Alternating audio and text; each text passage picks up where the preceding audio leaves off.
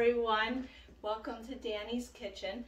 My name is Danielle and I'm bringing you good food It's quick and easy for you and your family. Today we're going to do some apple hand pies in the air fryer. Um, my in their hands, so that's what we're going to do today. So I figured come along with me and we'll make it together. Um, you are going to just peel your apple and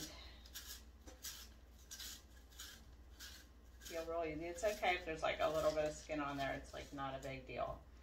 And then what we're gonna do is we're going to core and chop them. So you have the skin coming off. I am using a Gala apple. You can use whatever apples you prefer um, in this. So, um, so just gonna press down.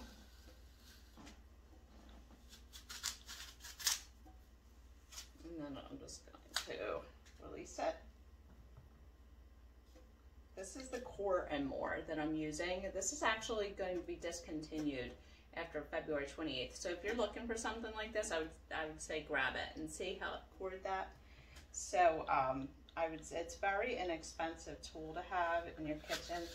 It's great. You could just take these centers and fill them with some um, with like some oatmeal and brown sugar and um, maybe some nuts if you want some nuts. Um, and then some brand, and then put it in the center with like some caramel sauce and um, and bake them like that and they would be delicious. So I'm just going to cube these and I'm to put them in here and I'm to cook the apples and the reason being is because it's not like a typical apple pie, right? That's to be in your oven for 40, 50 minutes, whatever uh, your recipe says. So these are a quicker thing. So you're want to cook these apples um, beforehand, before doing the hand pies. So I'm just cutting them down like that and then I'm just using a paring knife. You don't need anything you know, and you don't need a big knife for this. And uh, put these in here. That.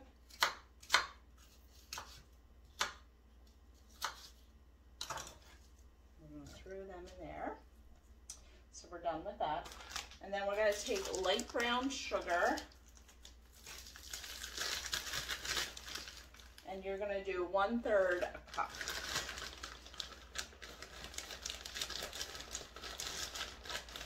Want a little less, you put a little less in there. No big deal.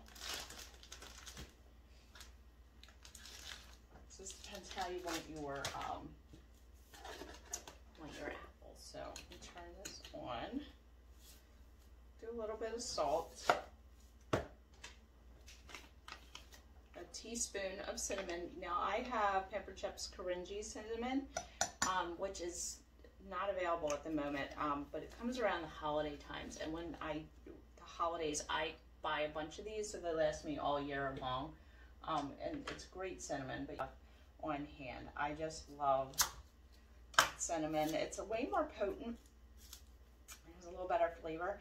Like I drink my coffee black, so, and I put a little sprinkle, a uh, little cinnamon in there, so it's perfect. It gives me a little bit of a stronger cinnamon flavor. That's how I drink my coffee. So we're going to cook this down for a few minutes, uh, about three minutes, and you'll see it start getting all nice and soft and bubbly. Just throwing out, just throwing out my, there I am. I'm just throwing out my, um, my skins and everything. So it's my cat, Luke. He's uh, coming in to probably eat he might be like literally the fattest cat um, ever. He, all he wants to do. We feed him in the morning and at night, and he meows all day long for food. I don't know if anyone else's cat does that. So we're cooking these. I'm getting my wooden spoon. These are the, I think these are the bamboo. These are actually going out too. So if you need great wooden spoons, these are also, you can throw them in the dishwasher, which wooden spoons you cannot do because they will get bacteria and everything in them. It's no, no good. But these you can. Um, and they're like a nice, solid, beautiful wooden spoon. So, um, so if you want to grab these too, um, you want to get them before February 28th. So, um, just going to give it a quick little stir around. And we're just going to, I'm to put my lid on this. And then um, what we'll do is I'm just going to clean off my workspace and get that pie crust all ready. You can make your own pie crust or you can buy at the store. I just bought at the store. I'm doing easy today because, there we go, um, Giant brand. So whatever you like. Um, I do make my own, but today just not happening because I want to kind of do these easy and fast and there's no better way than to buy some at the store. So, um,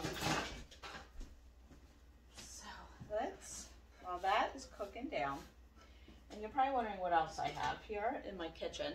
So I have some cornstarch that we're going to use, thicken that up after it cooks for a few minutes. And then um, what I'm going to use, now you could use biscuit cutters, um, you can cut them with a knife. I'm actually going to use, this is the older version of the sandwich, um, Pampered Chef sandwich maker.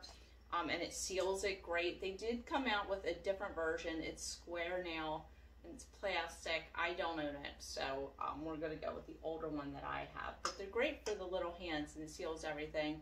Like you could do peanut butter and jelly crustables. I do like a Nutella and peanut butter um, one and then I pop it in the air fryer and it's ooey gooey and delicious. Um, and you could do it with fluffernutter and peanut butter, um, and you can even pop that in the air fryer too and toast it up. Um, so, or just do it plain. I know as a kid that was one of my favorite things. Um, and if you have a nut allergy, you could just do any kind of nut butter that you love. So um, there's some really great ideas. Um, so you have pie crust that are enough to make for two layers. So you need a top and a bottom. So we're to open these up. And then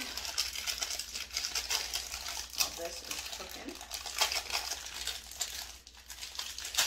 Make sure I have it high enough.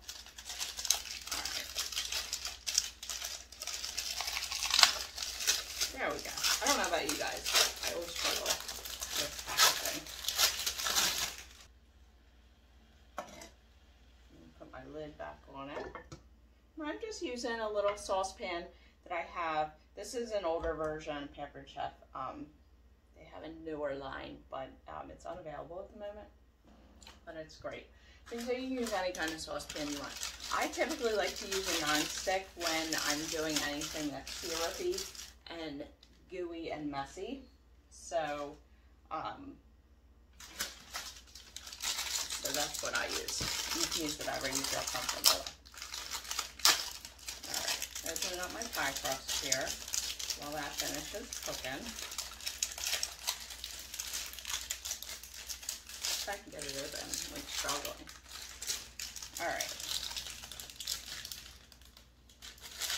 There we go. Alright. We'll lay him there. And we're just waiting for this. More.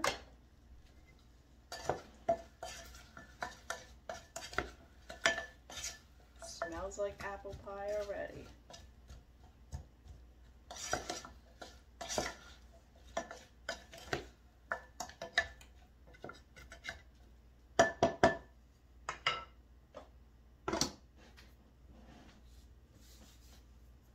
Alright, so we are going to use, get a little bit of water to seal it.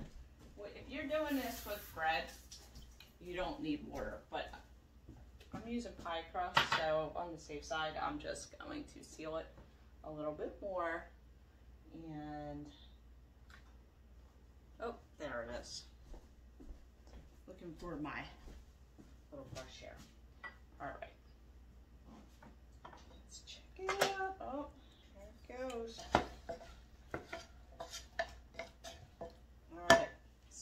make our pies. And Silly Me, I got my spoon back. So if you're cooking with non-stick, you definitely, now that's perfect. It's like nice and thick and it'll hold. Let me show you. See that? How nice that is. Beautiful. All right, so we're ready to do our pies. So I'm just gonna put, you don't need a whole lot. So I'm gonna put one there one there. I'm gonna make like, you can do it separately too, if you're more comfortable with that. Hopefully I'm measuring these out right, so we'll see what happens. And I think we can use, maybe, I don't know, that one might be okay. So, it's like all the way on the edge, but we'll see. Flexibility with this. And then I'm just gonna lay this, some water in between. And this is a great pastry brush, brush with the silicone, so you're not gonna get any of the stuff on it. All right, just gonna lay, fix in.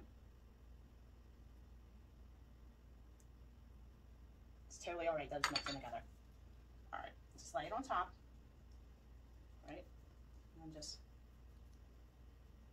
go like this. Now if you wanted to, you could totally just knife with a knife and cut it, but I'm gonna use our, this one's just gonna be a little messy, but it's okay. It's all good, nothing wrong with a little mess. All right, and then I'm just taking this guy, like that, and then I'm making these little pockets. See? And then I'll cut like a little hole in it, um, like a little, um, and you can use biscuit cutters too to let it vent when we're all done.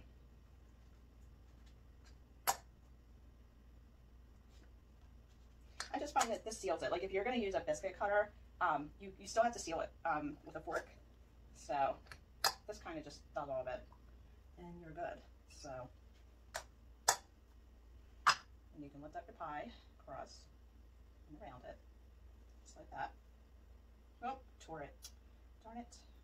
All right, hopefully we can see them. So let's see.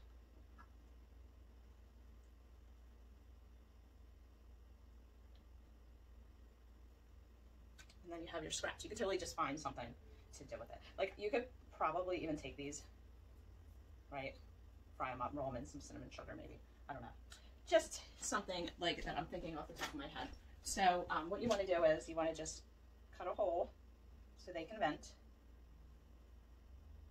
Just like that. Real easy. then we are going to brush with a little.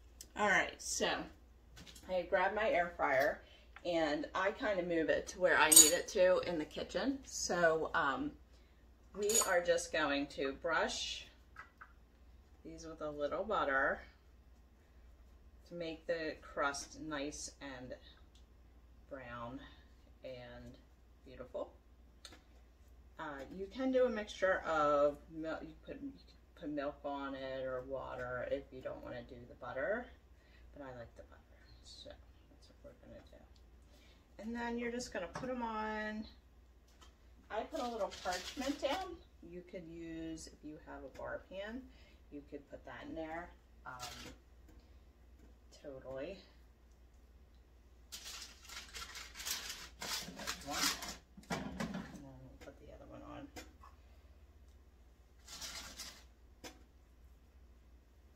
Just like that.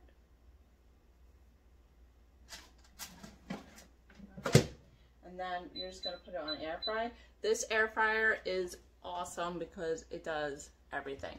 So it's it's a rotisserie, it's a dehydrator, it's an air fryer. You could use it to toast everything. You can use it all right, guys, so the ham pies are all done. We're gonna take them out. And I'm just gonna brush them. I'm gonna off this. And we're gonna brush them with a little more butter. Kind of give them a little bit of a glisten. And we have these guys. And then you can eat these. You could let them cool and freeze. There we go. Let them cool and freeze. Um, and then you can warm them up and have ham pies whenever you want. So, um, so there you go. So thank you guys so much for watching.